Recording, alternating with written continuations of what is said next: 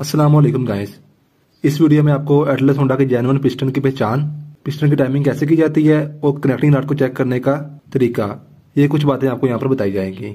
मेरे पास इस वक्त ये एटलस होंडा का जैनवन पिस्टन है और इसके मैंने यहाँ पर रिंग्स डालने हैं तो सोचा आप दोस्तों के साथ भी यहाँ पर शेयर कर दिया जाए। स्टैंडर्ड साइज़ का, यानी कि ये ज़ीरो साइज़ का पिस्टन है, जो कि नई बाइक में लग के आता है। ये सात सौ पचहत्तर रुपए की यहाँ पर किट आती है। चेक करने का बेहतरीन तरीका यही होता है कि आप यहाँ पर इसकी जो ये एक मोनोग्राम इसके ऊपर बना हुआ है थोड़ा सा यहाँ पर शाइन कर रहा होता है और थोड़ी सी खुदरी हुई यहाँ पर जगह होती है, ठीक है? उसके अलावा यहाँ पर लिखा होता है रब विथ क्वाइन।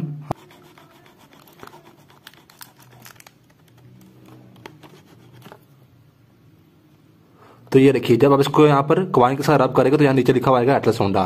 तो ये भी इसकी निशानी होती है कि ओरिजिनल है या नहीं है। इस पूरी किट में एक आपको यहाँ पर पिस्टन मिलता है। इसका ही मैं आपको बताता हूँ कैसे आपको चेक करना है। दो यहाँ पर इसकी लॉक होती है, ये देखिए।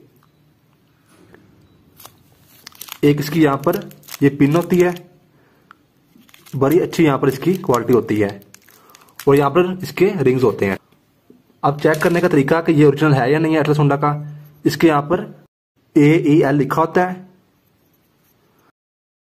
इसकी क्वालिटी काफ़ी अच्छी होती है और ये काफ़ी पायदार भी होता है। लेकिन जितनी इसकी प्राइस है, उस हिसाब से इसकी क्वालिटी है। ऐसा नहीं कि ये कंपनी काफ़ी अच्छा कर रही हो। अगर इसकी क्वालिटी अच्छी है तो प्राइस भी काफ़ी ज़्यादा है। इसके अब हम यहाँ पर टाइमिंग करके इसे कैसे रिक्स डाले हैं, वही मैं आपको बताता हूँ। उससे पहले हम यहाँ पर कनेक्टिंग राड को देख लेते हैं। अब बेसिकली यहाँ पर आप देखिए, ये मेरे पास एक कनेक्टिंग राड है, जो कि ओल्ड होंडा सिटी सेवेंटी में लगा हुआ आता था मेड इन जापान ये बहुत बहुत अच्छी क्वालिटी का होता है। आजकल ये लिखा हुआ नहीं आता न्यू बाइक्स में, लेकिन जो पुरानी बाइक्स थी उसमें यहाँ पर लिखा हुआ था, ये 2003 मॉडल का कनेक्टिंग राड है और ये काफ़ी बेहतरीन कंडीशन में है। अब ये मैं आपको यहाँ पर क्यों बता रहा हूँ, इसका मैं आपको बताता हूँ। अक्सर क्या होता है कि आपकी बाइक का जो कनेक्टिंग राड होता है, वो अक्सर ठीक होता है। उसके बीच में जो उसका बैरिंग होता है और जो इसकी पिन होती है, ये खराब हो जाती है। बहुत से लोग क्या करते हैं कि आफ्टर मार्केट चाइना के कनेक्टिंग राड लाकर मुकम्मल वो डलवाते हैं और जो उनका ओरिजिनल होता है, जो कि काफ़ी अच्छी क्वालिटी में होता है, वो उसको वहीं पर फेंक देते हैं। जबकि उसकी अपनी यहाँ पर कंडीशन काफ़ी अच्छी होती है। जैसे कि ये देखिए, इस वक्त मेरे पास एक कनेक्टिंग राड है, इसमें से आवाज़ आ रही थी।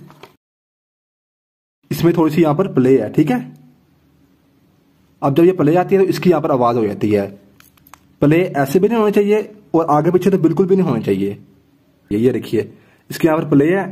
तो अब बहुत से लोग क्या करेंगे कि इसको यहाँ पर उतार के रख लेंगे, और चाइना का नया लाकर वो लगा देंगे। हाँ अगर आपका जो कनेक्टिंग राड है, वो अगर खराब है तो फिर आपको पूरा सेट ही नया लेना पड़ता है। लेकिन आपने कैसे चेक करना है कि ये सिर्फ़ खराब है या ये इसके लोक बैरिंग खराब है? ये मैं आपको बताता हूँ। ये देखिए, ये इसके बीच में एक पिन होती है। ये इसका यहाँ पर बैरिंग होता है। ठीक है? इस तरीके से यहाँ लगता है। अब इसके बीच में देखिए, आपको यहाँ पर लग रहा होगा कि ये बीच में इसके खराशे हैं। ये इसका यहाँ पर निशान खराश नहीं है। आपने इसको इस तरीके से रखकर देखना है।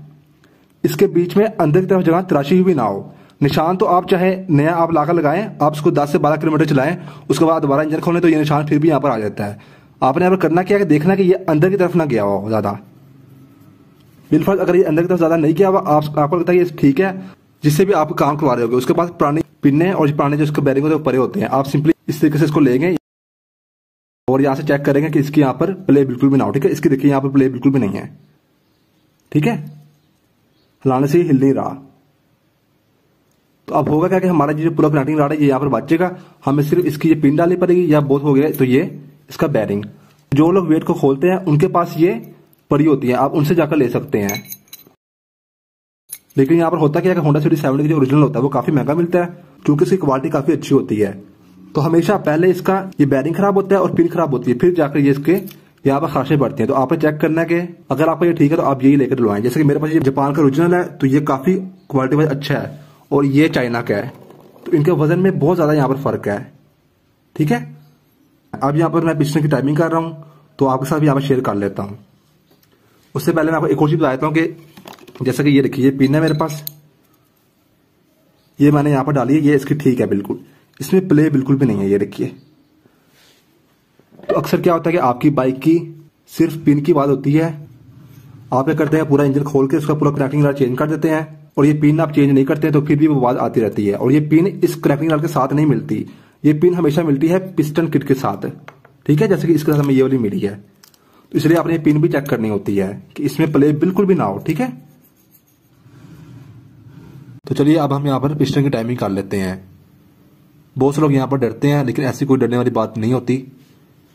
इसकी टोटल यहाँ पर पाँच रिंग्स होती हैं। एक होती है इसकी जाली वाली रिंग दो इसके साथ लगती हैं। जिसको सपोर्ट देती हैं। और जो ये ब्लैक होती है, ये लगती है इसके मिड में, और सबसे फ्रंट पे इसकी ये टॉप वन लगती है। तो रिंग्स को यहाँ पर चेक करना कि ये ओरिजिनल है या नहीं है, इसका ही मैं आपको बताता हूँ। एटलस होंडा की वजह जब आप जैनवन लेंगे ना तो यहाँ पर इसके ऊपर लिखा होगा एटलस ठीक है? ये आपने आज भी चेक करना है। अब सबसे पहले जो ये वाली होती है रिंग जाली वाली बहुत से लोग कहते हैं, इसका आपने एम बनाना है इस तरीके से, या आपने डब्ल्यू बनाना है, फिर आपने रखनी है। ऐसा कुछ भी नहीं होता इसका। देखिए, इसकी ये वाली जो साइड है और जो ये वाली साइड है, ये दोनों बिल्कुल एक जैसी होती हैं। जो चीज़ें यहाँ बनी हुई है सेम वही चीज़ें इस साइड पर बनी हुई हैं। तो इसका यहाँ पर मकसद कोई नहीं होता कि आपने इसको ऐसे रखना है या आपने इसको ऐसे रखना है। कैसे भी आपने रखना है, इसको आप रख लें यहाँ पर।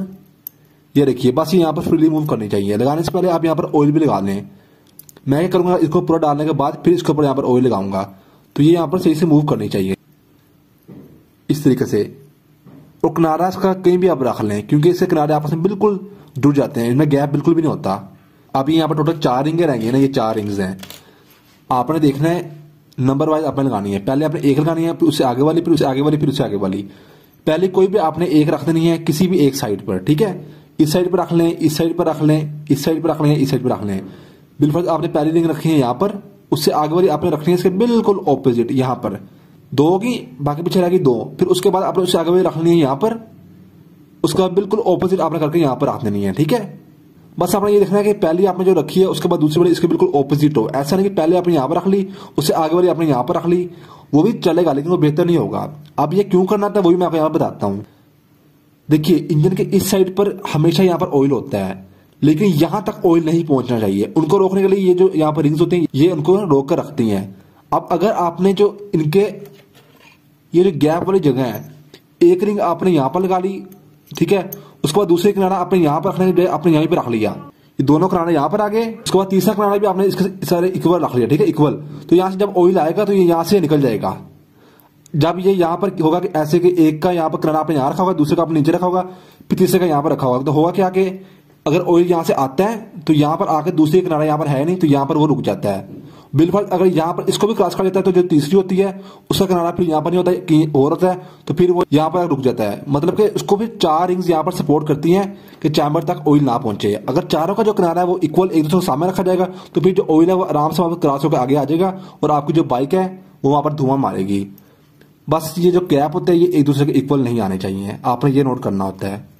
सबसे पहले जो सबसे छोटी दो रिंग्स है, उनको हम यहाँ पर लगा लेते हैं। मैं क्या करूँगा कि एक यहाँ रख लूँगा। ये देखिए, एक का जो किनारा है, वो यहाँ पर जाकर बैठा है। ये देखिए किनारा को नज़र आ रहा है यहाँ पर।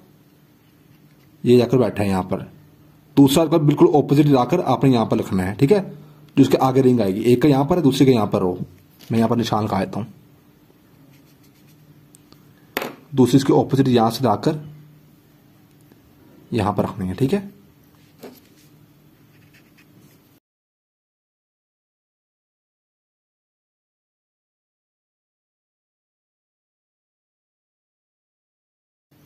तो ये रखिए यहाँ पर मूव भी करनी चाहिए। एक का किनारा हो गया यहाँ पर। ये यहाँ पर किनारा है इसका। दूसरे का इसका ऑपोजिट आकर हमने ये देखिए, ये किनारा को नज़र आ रहा है, ये यहाँ पर रख दिया है। ये दो तो होगी इस तरीके से, ठीक है? एक का यहाँ पर हो गया, दूसरे का यहाँ पर। मैं इसको ऊपर लगा ताकि आपको यहाँ पर सही तरीके समझ आए। यहाँ पर हो गया और इसका ये यहाँ पर। अब तीसरी आपने रख देनी है, यहाँ पर रख दें या चाहे आप यहाँ पर रख दें।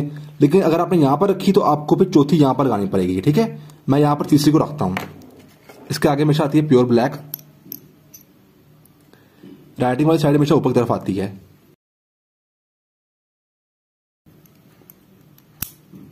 तो ये रखिए अब चौथी का अपने यहाँ पर रख देना है।